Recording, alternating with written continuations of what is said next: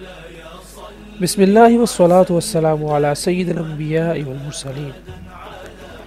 مسلم قوم کی یہ نرالی شان ہے کہ اسے تاریخ کے جنگی میدانوں میں بھی ایسے ہیرو دیے گئے جن کے دن دشمنان خدا پر کہر و غضب ڈھانے میں گزرتے اور راتیں مسلح پر یاد الہی اور محبت رسول صلی اللہ علیہ وسلم میں رونے اور گڑ گڑانے میں گزرا کرتی تھی۔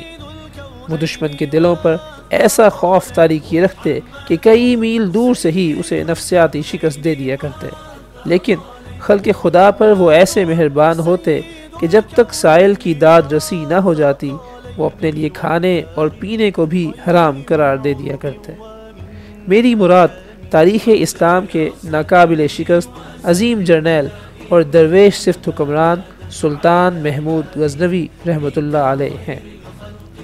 آپ کے والد امیر سبکتگین جو کہ ایک باصلاحیت اور کامیاب ترک جرنیل تھے، انہوں نے افغانستان کے شہر غزنی میں اپنی سلطنت کی بنیاد رکھی۔ یہ نو سو پچہتر عیسوی کے قریب کا زمانہ تھا۔ مشہور روایت کے مطابق، ایک روز امیر سبکتگین شکار سے واپس آ رہے تھے کہ انہوں نے اپنے پیچھے آنے والی ہرن کو دیکھا۔ ہرن کی آنکھیں اپنے بچے کی آزادی کے لیے ملتجی تھیں۔ امیر کے دل میں نہ جانے کیا آیا کہ انہوں نے اس ہرنی کا بچہ جسے وہ ساتھ لیے جا رہے تھے آزاد کر دیا۔ آپ کی یہ رحم دلی بارگاہ رب العزت میں مقبول ہو گئی اور آپ کے نصیب جاگ اٹھے۔ خواب میں آپ کو آقائے دو جہاں حضرت محمد مصطفیٰ صلی اللہ علیہ وآلہ وسلم کی زیارت سے فیضیاب فرمایا گیا اور ایک روشن وقت کامیاب و کامران بیٹے کی بشارت دی گئی۔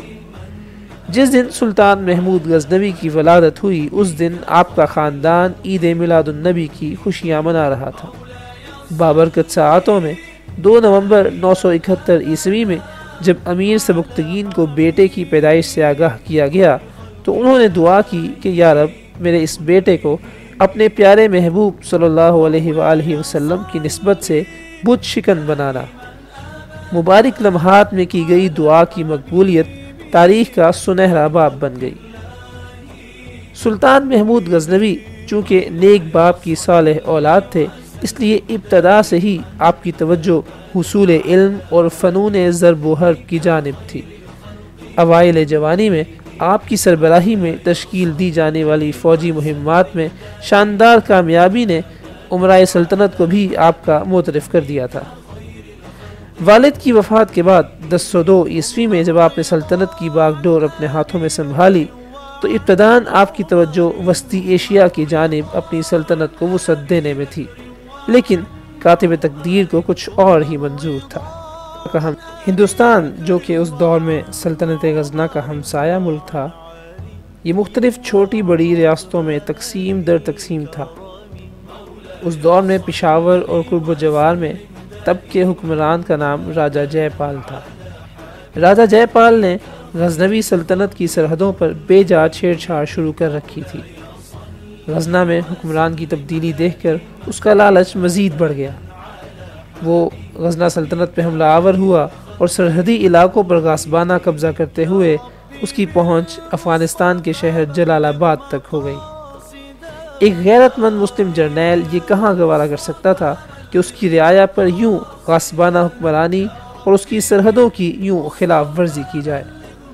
حکمت الہیہ کے مطابق سلطان محمود غزنوی کی مختصر لیکن ملی غیرت سے بھرپور فوج نے راجہ جے پال پر ایسا جوابی وار کیا کہ وہ خود اپنے ہی علاقوں سے ہاتھ دھو بیٹھا اور غزنوی سلطنت کی ہند سے ملی ہوئی سرحدیں پشاور سے آگے بڑھتی ہوئی پنڈی بھٹیاں اور اس کے قریب کے علاقوں تک وسیع ہو گئیں۔ راجہ جے پال کا رسوا کن انجام اس کی خودکشی کی صورت میں ظہور پذیر ہوا۔ مورخین لکھتے ہیں کہ یہ فتح ہندوستان میں اسلام کے باضابطہ نفاذ کی مضبوط اور دور رس بنیاد بنی۔ سلطان محمود غزنوی، اس نے یہ عہد کیا کہ آئندہ وہ ہر سال ہندوستان کی بت پرستوں کے خلاف جہادی مہمات شروع کرے گا۔ سلطان کی حیرت انگیز تیز رفتاری، خوبصورت نقل و حرکت اس کی کامیاب جنگی اسٹریٹجی سامان رسد سپلائی لائن پر مکمل کنٹرول اور سب سے بڑھ کر اس کے جذبہ ایمانی نے اسے چند ہی سالوں کے بعد ہندوستان کے قلب تک پہنچا دیا تھا۔ سلطان کے مشہور غلام ایاس کو لاہور کا پہلا مسلم گورنر بنایا جا چکا تھا۔ ہندوستان کو تاریخ میں پہلی مرتبہ مضبوط وفاق یعنی دارالحکومت غزنی کی حکمرانی میں شامل کر کے وحدت کی لڑی میں پرو دیا گیا تھا۔ سومنات کی تاریخی فتح کا ذکر کیے بغیر سلطان محمود غزنوی کا تذکرہ مکمل نہیں ہو سکتا۔ اس دور میں ہندو مندروں کو نہ صرف عبادت گاہ کا درجہ حاصل تھا، بلکہ ہندو مندر اس دور میں سیاسی، انتظامی اور فوجی مرکز کا بھی درجہ رکھتے تھے۔ سومنات کا قلعہ بلندی میں آسمان سے باتیں کیا کرتا تھا۔ یہ قلعہ اور مہادیو کا مندر سومنات کی جان اور اس کی قوت تھا۔ جب سلطان اس قلعے پر حملہ آور ہوا۔ تو دو دن تک ہندو راجپوتوں اور سلطان کی فوج میں اس قدر شدید گھمسان کی جنگ ہوتی رہی کہ کچھ معلوم نہ ہوتا تھا کہ کس فوج کا پلڑا بھاری ہے۔ آخر کار درویش صرف جرنیل نے خدا کے حضور سجدے میں سر رکھ دیا اور گر گڑا کر اللہ رب العزت سے اس نے فتح کی دعا کی۔ سلطان نے کمال یہ کیا کہ وقت کے عظیم ولی خواجہ ابو الحسن خرکانی رحمۃ اللہ تعالیٰ علیہ کا عطا کردہ خرقہ اپنے سامنے رکھ کر رب سے اس کے صدقے میں فتح کی دعا کی۔ بارگاہ الہ میں اس کے ولیوں کا وسیلہ مانگنے والے ہمیشہ ابا مراد ہوا کرتے ہیں۔ چنانچہ اللہ جل شاہ نے آپ کی دعا قبول فرمائی۔ دعا کے بعد یہ مرد خدا خرقہ خرکانی زیب تن کیے گھوڑے پر باہر نکلا۔ اس نے اپنی فوج میں ایسا حوصلہ اور ایمانی جوش و جذبہ پیدا کیا کہ میدان جنگ کی کایا پلٹ گئی۔ پانچ ہزار ہندو چند ہی ساعتوں کے بعد جہنم رسید کر دیے گئے تھے۔ بلاخر فتح سلطان کا مقدر بن چکی تھی۔ سلطان مندر میں داخل ہوا تو اس نے دیکھا کہ سومنات کا دیوکامت بت زمین پر نہیں بلکہ ہوا میں معلق ہے۔ سلطان کے اہل علم درباری فوراً جان گئے کہ چالاک ہندو نے کس ایاری سے کام لیا ہے۔ حکم ملنے پر مندر کی چھت سے بھاری پتھروں کی سلیں ہٹائی گئیں تو بت دھڑام سے زمین پر نیچے آ گیا۔ دراصل یہ شعبہ بازی بڑے بڑے مقناطیسوں کی میگنیٹک فیلڈ کے ذریعے روبہ عمل تھی۔ بت کو نہ توڑنے کے عوض منہ مانگے نذرانوں کی پیشکش سلطان نے یہ تاریخی جملہ کہہ کر ٹھکرا دی کہ میں تاریخ میں بت فروش کی بجائے بت شکن کہلانا زیادہ پسند کروں گا۔ اس فتح میں سلطان کو جس قدر وافر مقدار میں سونا، جواہرات اور بیش قیمت خزانے بطور مال غنیمت ملے، اتنے اس سے پہلے کبھی نہ ملے تھے۔ سومنات کے بدھ کا ایک ٹکڑا سلطان نے اپنی عقیدت کے اظہار کے لیے مدینہ شریف بھجوا دیا۔ ایک ٹکڑا اس دور کے عباسی خلیفہ کے دربار میں اور ایک ٹکڑا غزنی کی جامع مسجد میں جوتیوں کے مقام پر نشان عبرت کے طور پہ رکھوا دیا گیا۔ تاکہ لوگ سومنات کے بدھ کے اس ٹکڑے کو دیکھیں اور یاد کریں کہ ظلم و ستم پر مبنی جھوٹی شان و شوکت پر قائم حکمرانی کا کیا انجام ہوا کرتا ہے۔ سلطان کی بے مثال فتوحات بر صغیر پاک و ہند میں اسلام کے تابناک مستقبل کی بنیاد بنی۔ وہ صرف ریاستوں کو فتح نہ کرتا، بلکہ اس کی عادت تھی کہ وہ ان فتح کردہ ریاستوں میں اہل علم اور مبلغین اسلام کو بھی آباد کر دیا کرتا۔ سلطان محمود غزنوی کی علم دوستی کے باعث اس کی سلطنت کی وسعت علم و فن اور مدارس و خانقاہوں کی اشاعت کا بھی ذریعہ بنی۔ مورخین حضرت سید علی حجویری المعروف، داتا گنج بخش رحمۃ اللہ تعالیٰ علیہ جیسے جلیل القدر اولیاء کرام کی بر صغیر میں آمد کا کریڈٹ بھی سلطان محمود غزنوی کو دیتے ہیں۔ سلطان نے ہی اپنے بعد آنے والے مسلم فاتحین کو ہندوستان کا گیٹ وے فراہم کیا، جس سے بر صغیر کی ثقافتی اور تمدنی ترقی کے دروازے کھلے۔